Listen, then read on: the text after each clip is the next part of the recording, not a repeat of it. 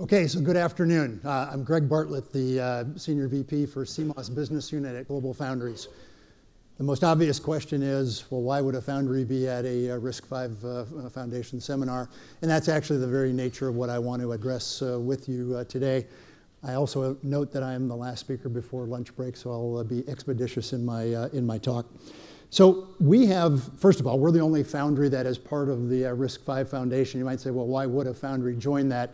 Part of it is we look at the value proposition of RISC-V for what its role as a processor architecture is in the, uh, uh, in the SoC space and realize it's very well aligned with the approach that Global Foundries has. We have a uh, unique CEO who uh, was COO at Qualcomm and uh, ran Motorola Mobility and pays attention to important trends in the industry, pays attention to differentiation on there. And that's what we exist for as well as a foundry. We're not trying to be another Me Too foundry. So we saw the opportunity to join this, be the one foundry that was part of it and start thinking at the system level in how we develop and bring technology to the marketplace to enable your products. And for the last year, we have been uh, engaged in looking at applications where RISC-V architecture is showing up. And we've got some representations here, starting with the upper left where you see an implementation of a couple 32-bit RISC-V cores and a, uh, a, DSP for vision processing. This would go into putting a deep learning AI processor in place that would be used for you know, robotics and IoT and uh, IP camera type uh, applications. In the lower left, you see an example of, in the automotive space, of multi-core RISC-V that would be uh, also hooked up with a custom neural engine to address automotive or IoT type uh, applications. In both instances, the RISC-V uh, core and the instruction set are there to provide that flexibility and choice uh, from an implementation by customizing it, as you've been hearing all the speakers talk about this morning. In the case of the upper right-hand side, this is work from the University of Zurich that is uh, partnering with us, we'll talk about in a minute, uh, for implementation for a very memory-intensive uh, cluster compute uh, implementation, and uh, they're implementing 32-bit to start with now and will extend to 64-bit. Uh, and then the last area is in the lower right where you see a coprocessor implementation. Uh, that is an instance where you could partner with an x86-based architecture, GPU architecture, and use the RISC-V architecture to offload a lot of the system uh, and control applications. Bottom line is we see broad applicability across a lot of unique uh, architectural implementations on there. And as we have been looking at each of these, we have a lot of customers already engaged with us bringing these products to uh, the marketplace.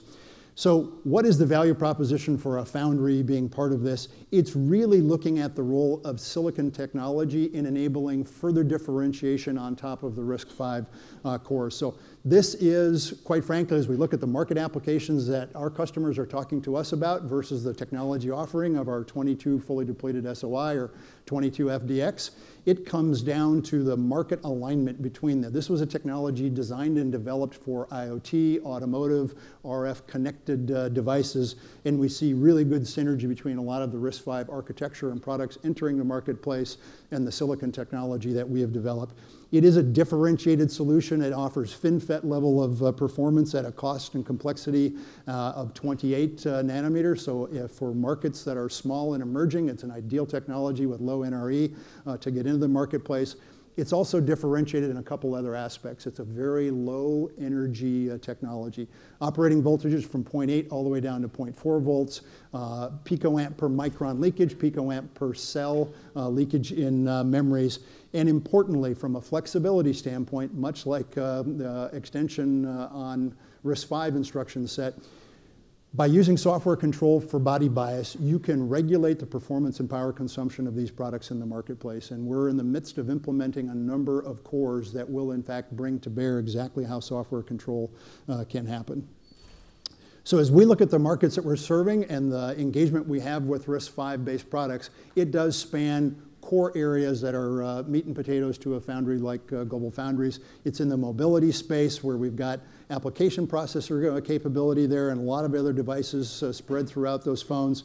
The real sweet spot, and I've mentioned already, this was a technology designed and developed in the IoT uh, uh, space, is in the RF and connectivity, very low leakage, software controlled body bias to have performance when and where you want it with a cost structure well below where FinFET sits RF, this is an intrinsically high RF performing. So these devices that want to be mobile, where you need to have some communication protocol, whether it's support for 5G or transceivers, this is a technology with a 350 gig FT uh, in the technology that makes for very, very high performance and uh, good area savings. And quite frankly, as we look at the emergence of machine learning and artificial intelligence and connectivity and onboard compute and connected intelligence at the edge. There's no better example of that than automotive, and we have uh, initial engagements in, uh, in this space. This is an ideal technology because it does allow Take the best example is a long range millimeter wave radar where you want to have a controller device, you want to be able to put the radio front end integrated. You can even integrate the PA into uh, the device because it's an SOI substrate that allows device stacking with very, very good uh, RF uh, performance. So this is a, a technology that is well suited for the market applications. So how do we en enable the RISC-V uh, processor solutions with this technology? It starts with the core capabilities of it. I've mentioned already 0.4 to 0.8 uh, volt. We have a customer that already has functioning logic uh, at 0.4 volts with a very large uh, die. So we've demonstrated an ultra low power uh, envelope on there. As I've mentioned, it does feature uh, body bias capabilities, so you can have whatever level of performance up to the intrinsic capabilities of FinFET technology, but still have you know, gigahertz level of performance in an envelope of one watt of power, and that really opens up some exciting aspects of it. But we know it's not just about transistors. This comes down to how you enable the technology. And we know that in delivering a differentiated uh, technology to the market is like delivering RISC-V. It takes a community of people committed to driving something in the industry. We've put the FD Accelerator uh, program in place that has a lot of partners uh, and a lot of implementation of RISC-V. And you'll see in a minute a couple press releases that we've, uh, we've made today where we're uh, supporting partners uh, bringing their RISC-V architectures into these technologies. It also comes down to enabling the business model. So whether it's soft or hard IP and pre-silicon validated off-the-shelf RISC-V implementations, we're in a position to bring those to uh, the marketplace. And let's talk about a couple of those. So we did two uh, press releases today, one with SiFive and one with uh, Reduced Energy Microsystems. The SiFive platform will follow on uh, what you just saw, which is the next generation of both 32 and 64-bit uh, architectures on the 22FDX, uh, and as well as porting the IP over onto it.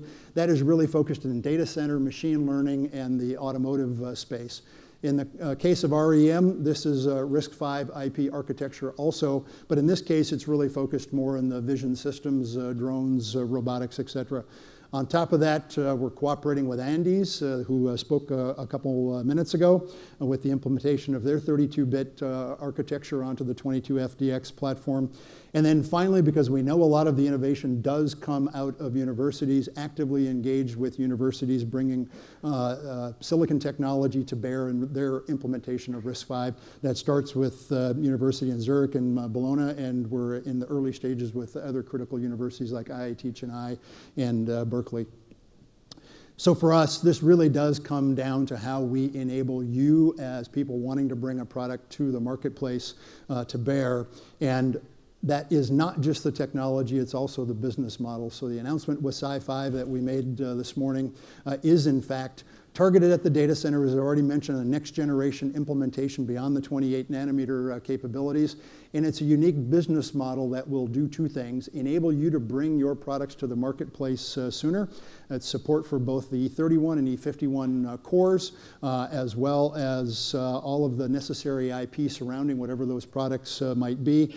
The key to it is enabling you to get into the market without any upfront costs. The cash changes hands only when you bring your product to the marketplace. Our two companies are working together to bring this to the marketplace and enable you uh, uh, in a very low NRE phase to be able to bring a product to the marketplace.